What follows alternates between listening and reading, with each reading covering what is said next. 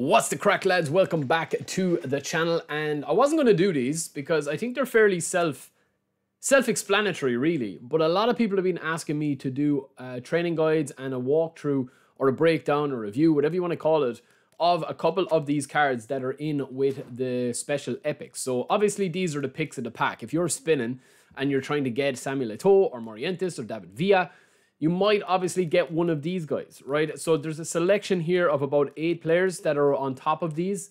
Um, and there are a couple of, I wouldn't say hidden gems, because obviously Vinicius Jr. is not going to be a hidden gem. Griezmann's not going to be a hidden gem. But I would say that Muniain is definitely worth a, a, a look at, lads. His stats are incredible, and we will have a look at the ultimate build for him. But let's crack on. We're going to start, of course, with Vinicius Jr. It's a very solid card. It's better than his standard card. Uh, he's got everything that you could possibly want from a left-sided winger. He's a Roman flank, double touch, flip flap, sole control. You know the ball roll uh, will be able to be done with that. And then obviously you've got the true pass and You've got heel trick. He doesn't have any real shooting uh, sh uh, anime or player skills apart from rising shot. Um, but I think that you won't be shooting with Vinicius Jr. Right? We talk about wingers. I'm going to have a video on wingers that you'll see, right? I have it, it's literally uploaded. So let's crack over to eFootball DB and we'll show you the build that we have for him. So this is the build that we've gone with for 29 levels of Vinicius. So his standard card is down at 26 levels, but this Vinicius card is way better, right? It's nearly plus one or plus two plus one on everything and plus two in offensive awareness and ball control straight off the rip, right? So when we train him up, we're going to pop five into shooting and passing, 10 into dribbling, 11 into dexterity, and four into lower body. Now, couple of things to talk about here, right? If you're using Vinny as your main starting left winger or left midfielder, I would probably pick where you want to play him. If you're playing him as a left midfielder, I would probably reduce this and up the passing um, to 77 low pass. I wouldn't have any shooting there, or maybe one shooting there. Um, and if you're playing him as a left winger, you can kind of nearly get rid of the passing and go into the shooting to get 83 finishing, or you could have 80 finishing and you could, you know, double up that dribbling to get that tight possession up, 96 acceleration. That is probably the build I would go with if I was looking for Vinicius Jr. either as an impact player or as my starting guy that was going to be coming on and emptying the tank, and then basically being able to replace him. Because if you're not replacing your wingers, you're probably not doing enough work with them unless you've got really a lot of stats into stamina and speed, which you don't really need for the way the gameplay is at the moment, right? You know, case in point, you look at the new free Neymar that they got, his speed is so poor, he can still sprint, he can still run, he can still catch people, right? We've also got Griezmann and his build here. Griezmann is down as a 96 overall uh, with this build. And again, we have a similar decision to make with Griezmann. Do you shoot a lot with Griezmann? If you do, then this build is for you. He's down as a hole player. I would not be playing him as a 96 SS. I'd be playing him as an AMF, right? So the only two players I think you should be playing up front at the moment are either a target man with somebody with speed up front, such as a goal poacher, or else two goal poachers or a fox in the box and a goal poacher where it's kind of a rapid, um, quick base passing, right? If you are using Griezmann up front, I don't think he has enough of an engine. He's more of a kind of a slow base player. So AMF is perfect for him. Think of him like Messi, very similar player to Messi. So if you are going with that and you don't shoot a lot, I do shoot a lot with my attacking midfielders with curl shots and you know stunning shots and whatever. So I do want that finishing and that power. Um, but if you don't, and if you find yourself just kind of being an orchestrator, you can get rid of this, still have it at 80, and just boost up the passing to go to 87 low pass.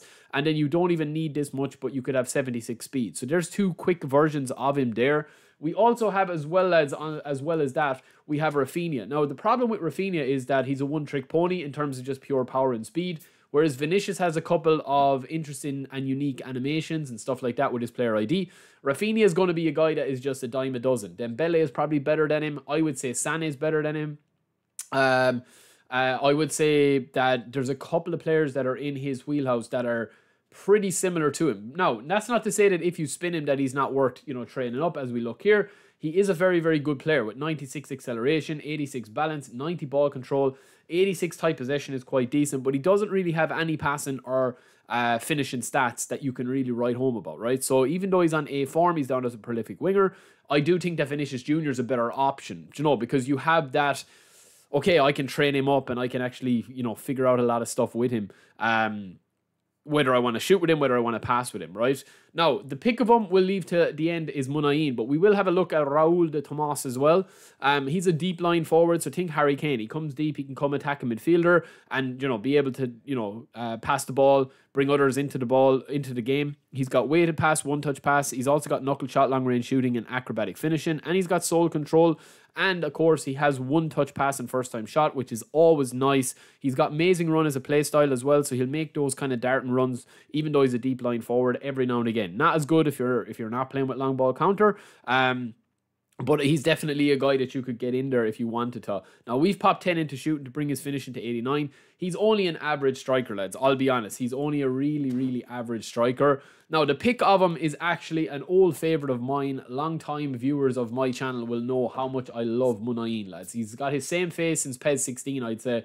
But he is an absolute demon. Now, this will rely whether you want to have him off the bench or if you want to start him, you probably will need a couple of additional skills, right? So one touch pass is a must if you're playing him as an AMF. I would play him as an AMF and we'll show you why, right? So when we actually go over to his card here, look at the amount that you can do with this card, right? So the two main important, most important stats at the moment for small base players that are under 175 cm or 180 cm are to have tight possession and balance. And his goes through the roof.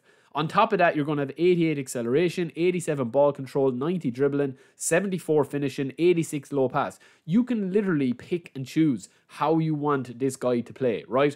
Now, if it was me, and you guys have watched me and how I play, I'm a very possession based player but I also like to do quick counters and be very defensively, um, you know, tight. So I play with long ball counter to keep deep, but I do hold the ball quite a lot for somebody that's playing with Jose Mourinho on my road to glory. So I do want to play that possession based game.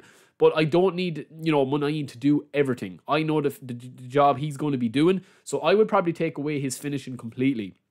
I don't need to be shooting with him. I can still finish a one on one quite easily with 70 finishing with the way the game is and the animations. But I would probably, if I was using Muniain as best as I could, I would probably try and get up that dexterity to 99 balance as best as I could. Now, I know you're not going to be getting any boosts in game or anything like that, but 99 balance on this card is going to be insane, right? I will have a video out on 99 overall ratings quite soon and stat ratings and stuff like that, but this is a very, very, very interesting card, right?